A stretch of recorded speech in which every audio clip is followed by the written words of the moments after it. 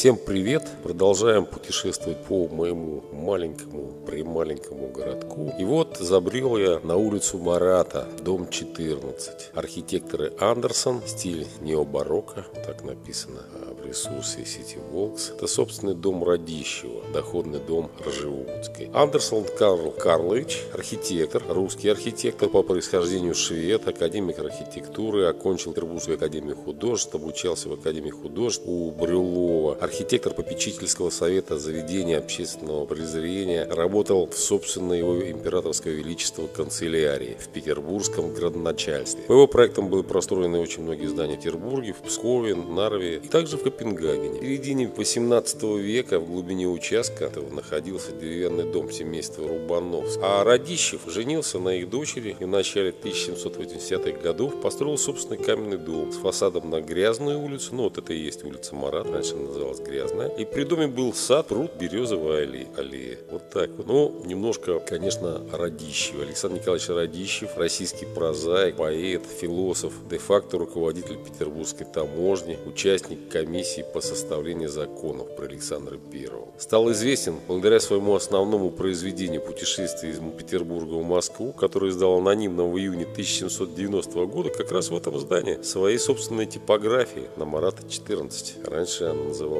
«Грязная улица». Интересная тоже судьба у человека. Был пожалован в пажи, направлен в Петербург для обучения в пажеском корпусе. А пажеский корпус готовил не ученых, а придворных. И пажи были обязаны прислуживать императрице на балах, в театре, за парадными обедами, ну и так далее. Затем был отправлен в Германии, в Лейпцигский университет для обучения праву. Конечно, за границей он почувствовал вкус, запах, как говорится, свободы, запах буржуазной революции, какие-то передовые идеи французских просветителей. Ну, в общем, набрался, как говорится, колоссально расширил свой кругозор. После этого он вступил в службу в, Сан... в Сенат по приезду в Петербург. Он вернулся из-за границ. Недолго он прослужил в Сенате, тяготил товарищество, приказных, грубое обращение начальства. Из Сената он поступил в штаб командовавшего в Петербурге генерал-аншефа Брюса в качестве обер-аудитора. Здесь, в штабе, он выделялся добросовестным и смелым отношением к своим обязанностям. Вышел в отставку, женился на сестре своего друга по Лейпцигу Анне Васильевне Рубановской. А спустя два года поступил на службу в коммерс-коллегию, которая ведала торговлей и промышленностью. Дружился с графом Воронцовым, работал в петербургской таможне. Как раз в это время он начал жить по адресу Грязная улица 14 или улица Марат. Ну, в результате он напечатал свое сочинение «Путешествие Петербурга в Москву». Книга была, стала раскупаться, но она была крамольная в то время. Это книга рассуждения о крепостном праве и другие печальных явлениях тогдашней общественной и государственной жизни. Конечно, эта книга обратила на себя внимание самой императрицы, которой кто-то доставил путешествие и которая назвала Радищева бунтовщиком хуже Пугачева. А Радищев был арестован, дело его было перепоручено Шишковскому Степану Ивановичу, а это тайный советник, который состоял при особых поручениях от ее императорского величества в делах. Кстати, он заведовал тайной канцелярией. Только одно имя Шишковского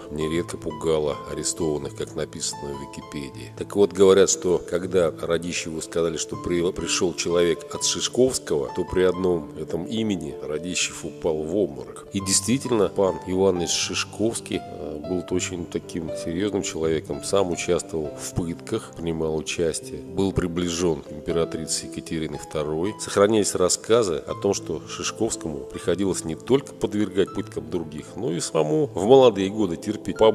Да еще какие. Так Соковнин, такой вот, э, такая фамилия прозвучала в Википедии, утверждает, что Шишковский, будучи однажды пойман кадетами пажеского корпуса, был немилосердно высечен ими. Еще чаще, конечно, доставалось Шишковскому отдельных смельчаков, которые, поймав его где-либо укромном уголке, не раз сдавали ему за, все, за все испытанное в его застенках. Но это, видимо, конечно, в молодые годы. Потом-то он занимал огромное положение, у него была охрана, ему, в общем, было ни почем. Вот такой был Шишковский Степан Иванович, начальник тайной экспедиции при Сенате, имя которого, одно только имя, наводило страх. И вот этот человек вел дело Радищева, конечно, страшно. Радищев был посажен в крепость, на допросах Радищев вел линию защиты, не назвал ни одного из своих помощников, берег, конечно, детей, старался сохранить себе жизнь. Ну, в результате получил приговор к смертной казни. Приговор передан в Сенат. Сенат утвержден в обеих инстанциях, представлен Екатерине. Екатерина заменила смертную казнь по милосердию, как написано в указе, или всеобщей радостью. Заменила ему десятилетней ссылкой в Сибирь, в Римский остров. На приказе о высылке Радищева императрица собственной рукой написала. Едет оплакивать плачевную судьбу крестьянского состояния, хотя и то неоспоримо, что лучшей судьбы наших крестьян у хорошего помещика нет во всей вселенной. Но это она его ковырнула по поводу книжки, которую он написал. Павел I вернул Радищеву из Сибири, затем Александр I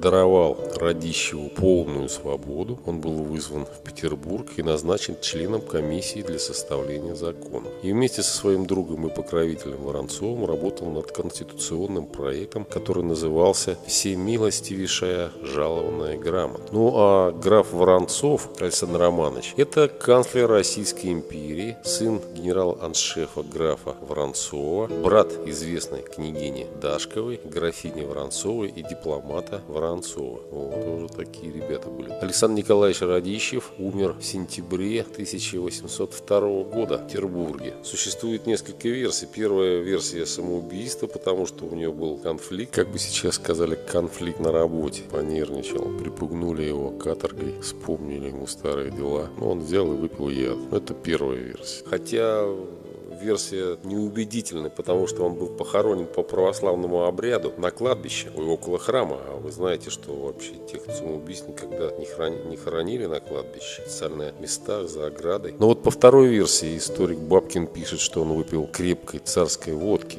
для выжиги старых офицерских эполет своего старшего сына. Ну и в документах, конечно, о захоронении говорится о естественной смерти. И в ведомости церкви Волковского кладбища написано, что 13 сентября 1702 года в числе погребенных указан калишский советник Александр Радищев, 53 лет, умер чехоткою, при выносе был священник Василий Налимов. Надо сказать, что он был дважды женат. Сначала на Анне Васильевне Рубановской. А вот, э, в этом браке родилось четверо детей. Василий, Николай, писатель, кстати, автор поэмы Алеша Попович, Екатерина, Павел, четверо у него было детей. А Анна Васильевна, первая жена, умерла при рождении сына Павла в 1783 году. И вскоре после высылки Радищева к нему в Илимск вместе с его двумя младшими детьми Екатериной и Павлом приехала младшая сестра его первой жены, Елизавета Васильевна Рубановская. В ссылке они начали жить как муж и жена, и в этом браке у них родилось трое детей. Анна Фекла, которая вышла замуж за Петра Гавриловича Боголюбова и стала матерью известного русского живописца, мариниста Боголюбова, и Афанасий, генерал-майор, Подольский, Витебский и Ковенский губернатор. Ну вот это как бы вот маленькая ремарочка. В квартире Радищева в этом здании часто бывал писатель Новиков. А писатель Новиков это российский журналист, издатель и общественный деятель. Кстати, масон, одна из крупнейших фигур русского просвещения. Именем Николая Ивановича Новикова названа первая масонская ложа, учрежденная 30 августа 1991 года. Да, 30 августа 1991 года. В Москве под эгидой Великой Ложи Франции. Ложа Николая Новиков. Вот так вот. В конце августа 2011 года ложа Николай Новиков отметила свое 20-летие. Вот здесь был этот Николай Новиков. В этом же доме с 1832 по 1836 год жил композитор Александр Сергеевич Доргомышский. Александр Сергеевич Доргомышский в это время, вот я посмотрел по библиографии, скорее всего, именно в это время он написал свою оперу. Или же именно в это время у него родилась идея написать оперу «Эсмеральда». В четырех действиях она считается первой серьезной работой композитора. Либретто к ней ранее создал сам Гюго по известному знаменитому роману «Собор Парижской Богоматери». Он был знаком Михаилом Глинкой, с которым играл на фортепиано в четыре руки, занимался анализом творчества Бетховена, Мендельсона. И, может быть, как раз в этом доме, а почему нет. Он жил по многим адресам. На восьмой линии Васильевского острова, на Маховой. Ну, а вот и 1832-1736 году вот именно в этом доме на Грязной улице 14 или Марата 14. Автор, кстати, знаменитой оперы «Русал» Мазепа, эскизы, «Каменный гость», ну и так далее. Вот такие вот люди же здесь жили. Все я вам рассказал уже как бы много времени. Вот такие люди жили на улице Марата 14 в этом доме. Да, еще одна, э, одна ремарочка. Здесь в этом доме в советское время при ремонте был найден тайник с документами и драгоценностями. Вот так вот. Все, всем пока, всем привет, до свидания. Сказал я вам, рассказал про дом на улице Марата, дом 14. Все, пока-пока, до свидания.